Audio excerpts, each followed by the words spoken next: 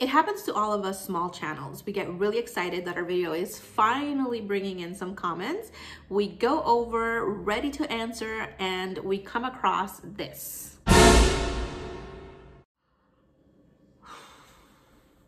I get it.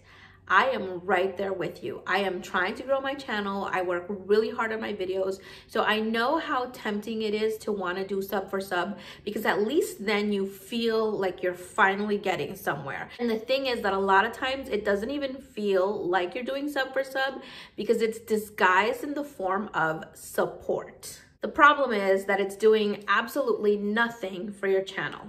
Okay, well, not nothing.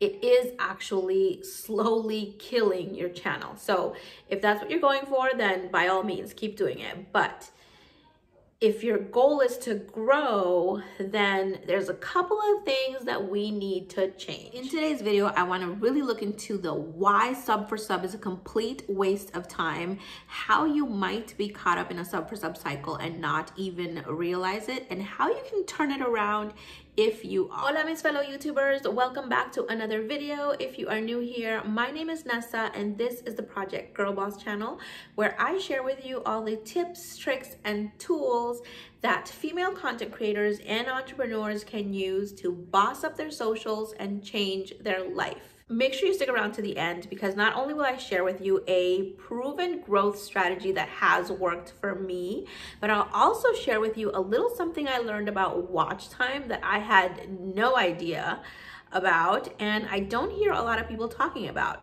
But first, let's get into this sub for sub problem, okay? Let's go. So let's break this down. If you're doing sub for sub, it's probably because you want those first 1,000 subscribers. And if you want 1,000 subscribers, it's probably because you're trying to get your channel monetized. Am I right? You know I'm right. The thing is, even if you manage to get a thousand subscribers using this method, you still need 4,000 watch hours in order for your channel to become eligible for monetization. And 90% of the time, the people that subscribe to you only because you subscribe to them will either A, unsubscribe a few days later or YouTube will remove their subscription.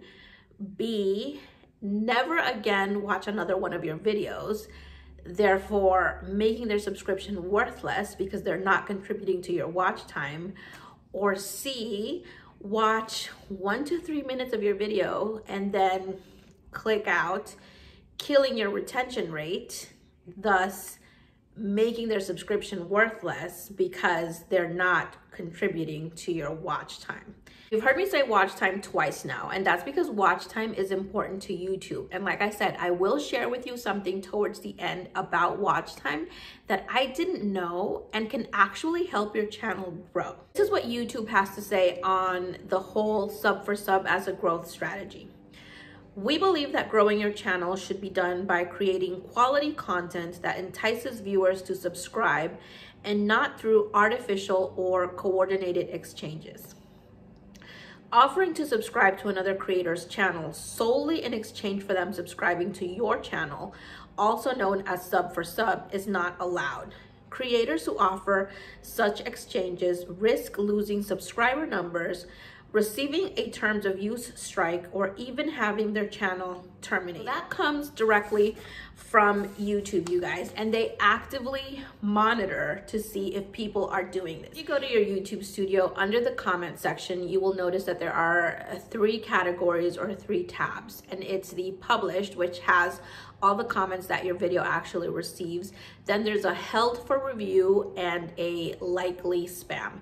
Now I went into my likely spam and held for review yesterday and I had 318 comments in likely spam and 86 comments in held for review. Already, these are comments that YouTube has kind of flagged as potentially being spam, and they're giving me, the creator, the option of either approving them, deleting them, or reporting them as spam. Let's say that I, as a creator, go into the likely spam section and I see a comment that just says, great video, I just subscribed. And I decide, you know what?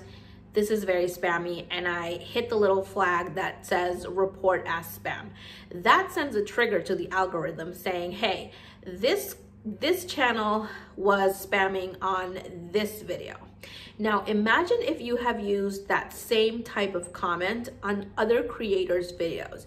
And imagine if they also go through their spam comment section and also report it as spam. So now you have your one channel being reported by multiple creators as having spammed their videos.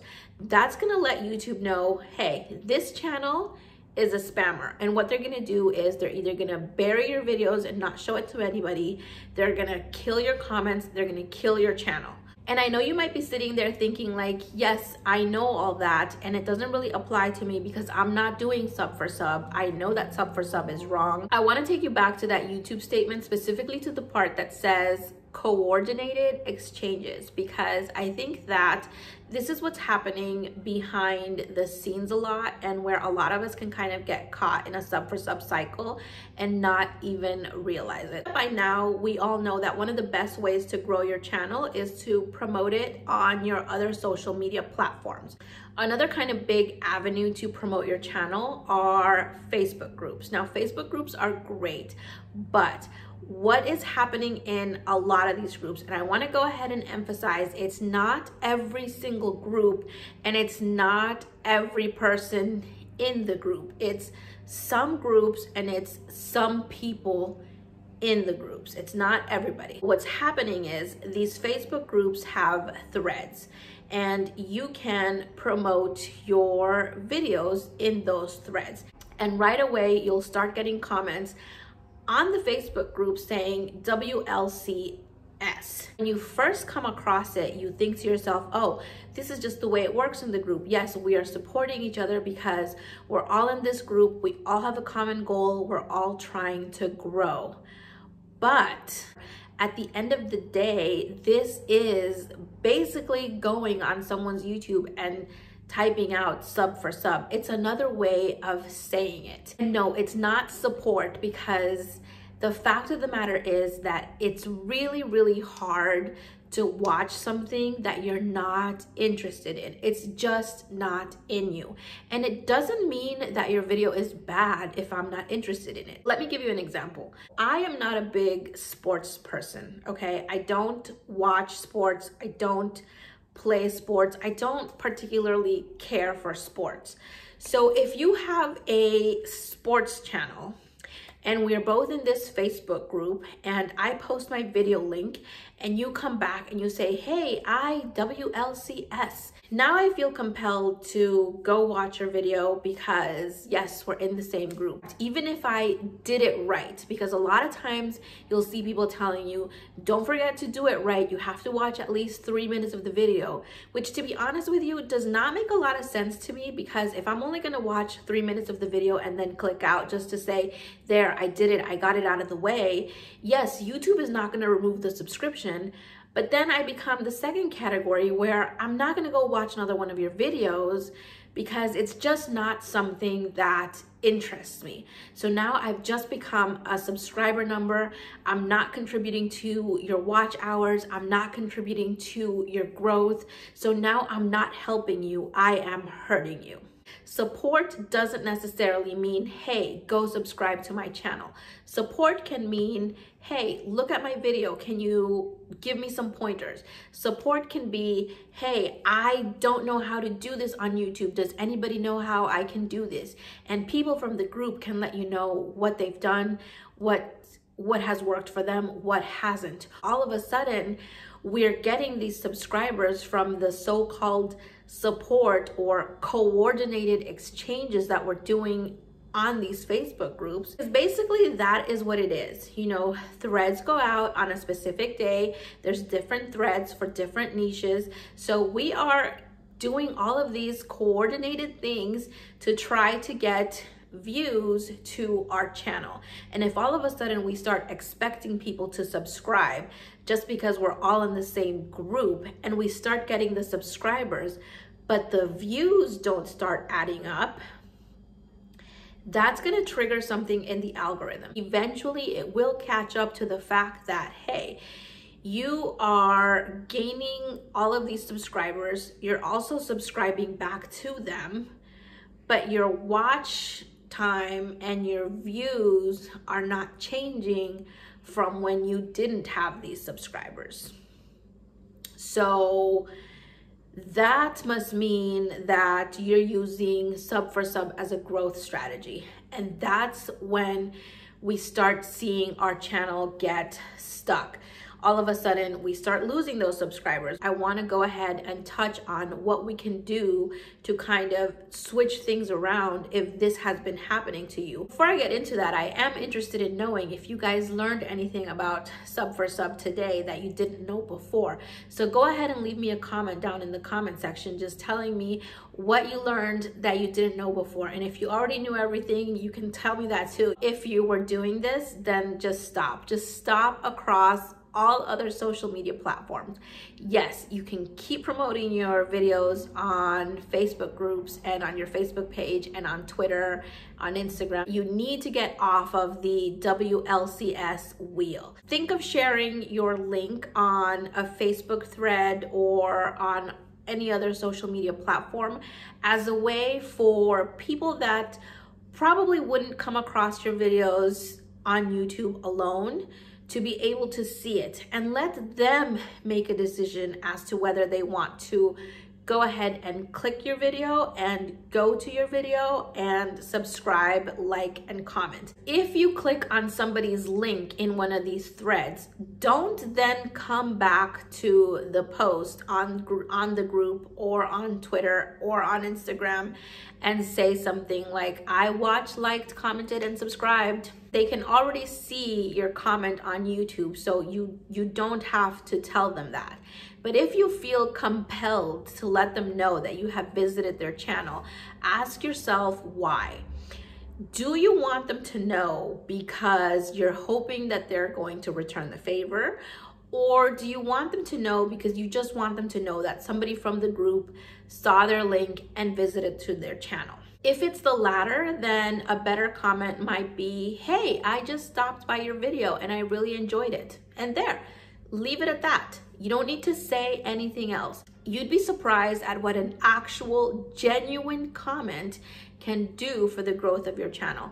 And let me show you with an example because this brings me to that little growth strategy that I was talking about, which I have used and has worked really well for me about a month ago, I was on YouTube at night and I came across this channel called The Real K Moe. I'm gonna go ahead and link her channel down below in the description in case you guys want to check her out. She has really good content. But I came across one of her videos. It was a what's on my iPhone video. I clicked on it. I really enjoyed the video. I remember I left her a comment and then I decided to look her up on Instagram. Now, the Real K Moe has a lot more subscribers than I do, but I looked her up on Instagram and I sent her a DM. I'm gonna put the comment up on the screen so that you can see it and then I'm gonna read it off of my phone. But basically I said, hi, I just caught your new what's on my iPhone 11 video and really enjoyed it. Would you be open to mutual support? And I left it at that. And I know you're probably sitting there thinking like, well, there you go. You're doing sub for sub and here you are telling us that sub for sub is wrong. That's sub for sub right there. But let me show you why it's not and tell you why it's different. I'm gonna show you another message and this is a DM that I received on my Instagram after I promoted a video on one of my Instagram posts. Right away, they said, sub for sub? If yes, make sure you watch on app and also at least two minutes before subscribing. And also don't forget to like and comment. Do that and I'll do the same. And then they plugged their channel. When I messaged the real K Moe on April 28th, so when I sent her this DM, I had already watched her video, I had already liked her video, and I had already left her a comment on the video. Now you can see that she didn't reply to me until May 3rd. And she said, you know, like, yes, sure, is your link on your YouTube? And I said, yes, it is. But you know what? I actually think that you are subscribed to me already. I wanna go ahead and show you when she subscribed to me. You can pull this up for anybody that has their subscriptions set to public. So you can see that she subscribed to me on April 29th. So I messaged her on the 28th, which is when I saw her video and I commented. She probably saw my comment on YouTube on the 29th. I don't think that she is subscribing to every single person that comments on her videos. That just doesn't make sense. But I know that for me, whenever I see a genuine comment come under my videos, a lot of times I'll look at the avatar, I'll look at the channel name, and I'll get curious as to, hmm, who is this person? Because they took the time to genuinely watch my video and leave a comment. And you can tell a lot from a genuine comment. You know, something like, hey, great video, really enjoyed it, it doesn't really tell me anything. Other people commenting on their videos can also see your comments. They can also get curious about your profile and visit your channel as well. By the time she saw my DM on Instagram on May 3rd, she had already subscribed to my channel. In the DM that I sent her, I never plugged my channel. I never said, hey, I hope you do the same. I simply left it at, I watched your video, I really enjoyed it. And yes, I asked her like, would you be open to mutual support? But I left it at that. And even if she had not subscribed to my video, I wouldn't have gone back and unsubscribed because that wasn't the motivation behind me sending the DM. A lot of us forget the human the human element to YouTube. And when we make it all about the subscriber number, I think people can tell and it kind of puts people off. Coming up on the end of the video and as promised, I told you that I was gonna share with you guys a little something that I learned about watch time that I didn't know and that can actually help your channel grow as well.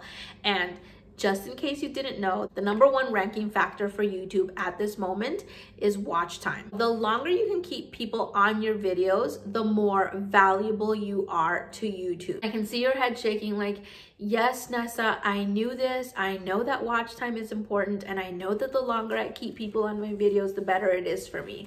But did you know that it's not just about how long or what percentage of your video that viewer watched, but also how much your video contributed to that user's overall watch time watching videos on the platform. I'm gonna go back to the Facebook groups because that's where a lot of us smaller channels promote our videos. Let's say that I haven't been on YouTube at all today and I go to Facebook, I see the thread and I come across your channel link and I decide, oh, this looks interesting. I click on that link, which takes me from Facebook to YouTube. I watch your video and then I go watch somebody else's video. Even though I watched your video and then I skipped to somebody completely different, so not another one of your videos, but somebody else's video, your video still brought me to the platform and now I'm staying there. And now let's say that because from that first session of when I came, I remain on YouTube for another hour or half hour watching other people's videos. In the end, for the algorithm, it still tracks that me as a viewer who has been on the platform now for over an hour initially came to the platform from your video. Even though I may not be watching just your videos or just your playlist, if you're still bringing people to the platform and then they are staying there watching other videos, it doesn't matter whose, if your video initially brought them there, YouTube is going to reward you. That doesn't mean that if I stay on the platform for 30 minutes or for an hour, YouTube is to credit you with one hour of watch time or 30 minutes of watch time because I stayed on the platform. No, but it, what it does mean is that it's gonna say, hey, let's show some of this creator's videos because they bring in viewers that then stay on the platform and ultimately that is what YouTube wants. Would it be better if I start binge watching your content? Yes, and so for that, we need to apply different strategies, but we can't get into those today because then this video would just be way too long. I wanna take this time to invite you to my Facebook page. On this Facebook page, I will be discussing even more tips, tricks, and strategies that I don't always go too in depth on video. Now, I also have a group. It is a work in progress. It's still not where I want it to be or perfect, but I do eventually want it to become a place where we can all learn from each other and grow the right way. Will be linked down in the description bar. You can also ask me any type of questions on this Facebook page related to YouTube videos or content creation, and I will go ahead and try my best to get those answers. That will be it for this video, guys. I hope you enjoyed it, and if you found some value in it, go ahead and give it a like. Also, don't forget to subscribe and hit the notification bell because I will be sharing with you all the tips and strategies that I learned so that you can apply them in your channels also. Remember, growth can be slow, but if you put in the work, take the time to learn, and genuinely engage with other people, you will start to see results. I will go ahead and see you on the next one. Bye.